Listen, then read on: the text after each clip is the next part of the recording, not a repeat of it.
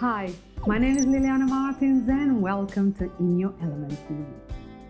Today we will be working on your physical body, which is represented by the earth element.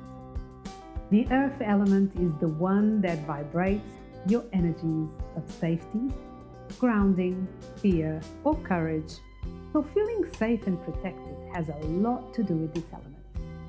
So remember to like, subscribe, and notify so we can all go through these times together.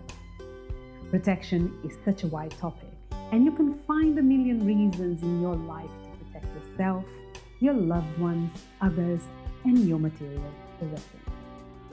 Finding yourself in a constant state of safety and grounding is not easy to maintain if you run a busy daily schedule and lifestyle.